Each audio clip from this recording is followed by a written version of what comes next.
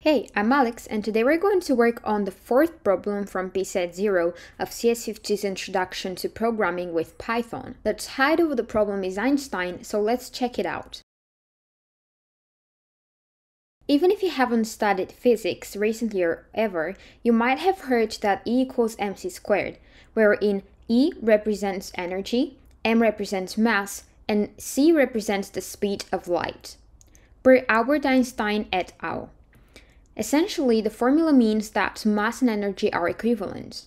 In a file called einstein.py, implement a program in Python that prompts the user for mass as an integer and then outputs the equivalent number of joules as an integer. Assume that the user will input an integer. Okay, so what we have to do is take the mass as an integer from the user.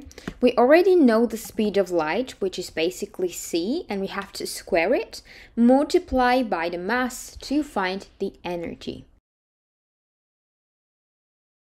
Let's create a folder for this particular problem. I will say cd um, pset 0 tutorial because that's the folder where, where I keep all the problems within this pset and then I'm going to say make a new directory, make dir, um, which is going to be called Einstein. Then we change the directory to the newly created folder Einstein. And in order to create our file, we can say code einstein.py.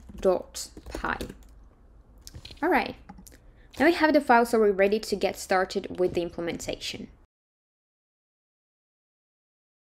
First, we would like to ask the user for input and the input is going to be the mass. So we can say input and then write a prompt to the user. So the prompt could be please enter the mass or enter the mass or just mass like this.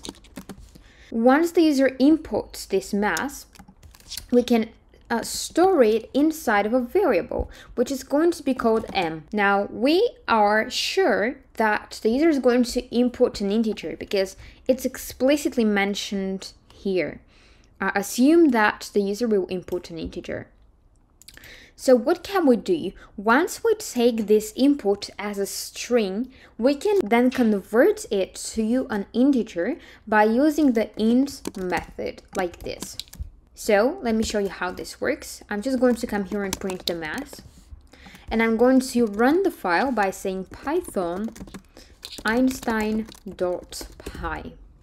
So if I enter 345, what happens is that I enter my input, which is 345, then convert it into an integer, and then save it inside of this m variable. So m currently has the value of 345.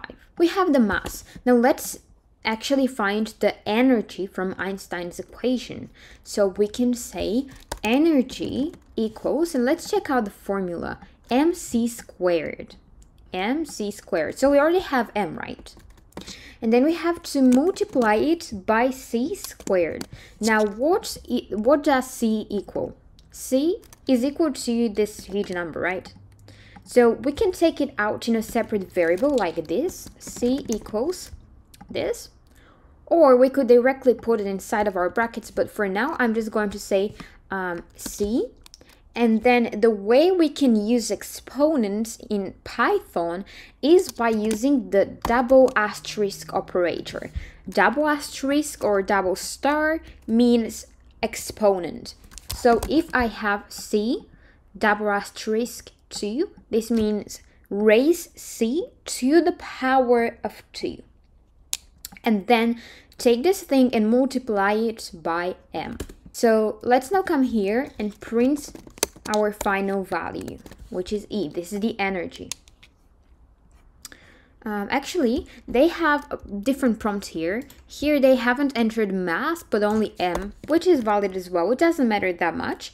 And in the end, we don't only want to print the value, but also say E colon and then the value. So the way we can do that is we can say print and we can use a formatted string. Um, so the way we use formatted strings is we enter an F before the quotes.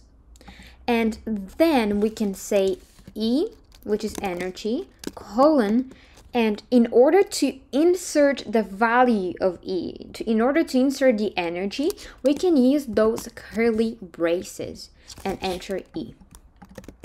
Okay, let's test this locally, and then I'm going to explain the entire problem from the beginning. We can run Python Einstein. I could have used the up arrow. Um, let's take a random test from here. If we enter 14, we should see this big number, which starts with 126. Okay, there we go. It seems to work correctly. Let's read right over the entire code. In the beginning, we take the mass from the user, the user input some kind of a mass.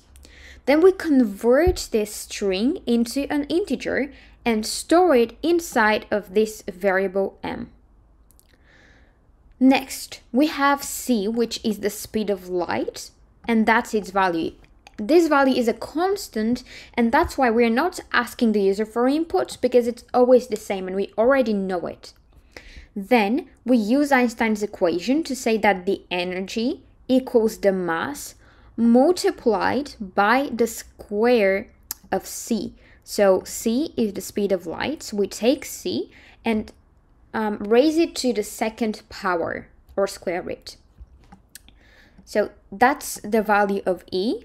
And here on line, on line 5, we're saying print E colon and then insert the value of V. So it could be 126 something, it could be 318 something. Um, it will always be replaced by the value we have received on line 4. So that's how this works. Um, now you could directly insert this here and remove this variable c because it's, it's a constant. Uh, but I'll leave it this way for now. I'll leave it with c because if you want to check out the equation, you can um, explicitly, you know, see of the variables e, m, and c. Let's now run check 50 to make to ensure that all the tests have passed. And we can notice that all the tests are green, which means that we have successfully passed them. That was everything for today's tutorial. I hope you found it helpful. If you have any questions, feel free to drop them down in the comment section and I'll try my best to answer as soon as possible. Bye for now and I'll see you in the next video.